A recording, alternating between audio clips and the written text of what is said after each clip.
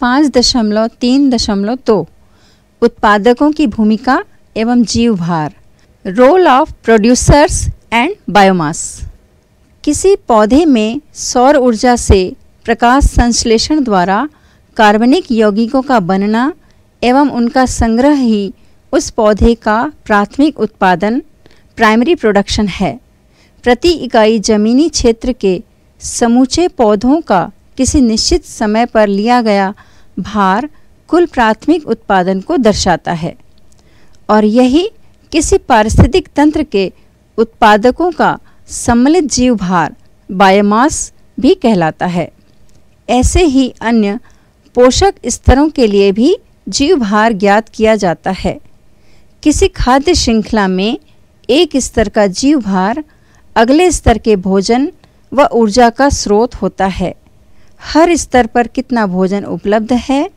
यह केवल जीवों की संख्या के पिरामिड से ही नहीं, वरन जीव भार के पिरामिड से भी पता चलता है।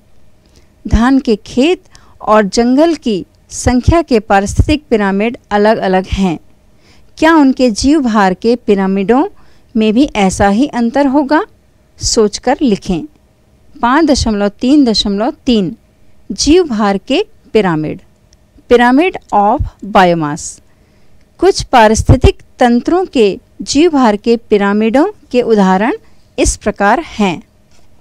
चित्र नौ ब में दर्शाए गए जीव भार के पिरामिड में मनुष्य को क्या तृतीय या द्वितीय पोषक स्तर पर रखा जा सकता है, स्पष्ट करें।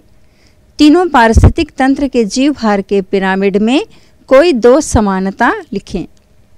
क्या जंगल के जीव भार के पिरामिड के अनुसार उपभोक्ता के पहले स्तर के लिए पर्याप्त भोजन मिल रहा होगा?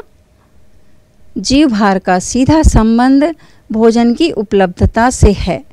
हम जानते हैं कि हमें भोजन से ऊर्जा मिलती है। जीव भार के पिरामिड को देखकर अनुमान लगाएँ कि क्या द्वितीय पोषक स्तर को जितनी ऊर्जा मिल रही होगी तृतीय या चतुर्थ पोषक स्तर को भी उतनी ही ऊर्जा मिल रही होगी। प्रथम पोषक स्तर से द्वितीय पोषक स्तर तक जीव भार कितना प्रतिशत घटा है, हर पिरामिड के लिए अलग अलग ज्ञात करें।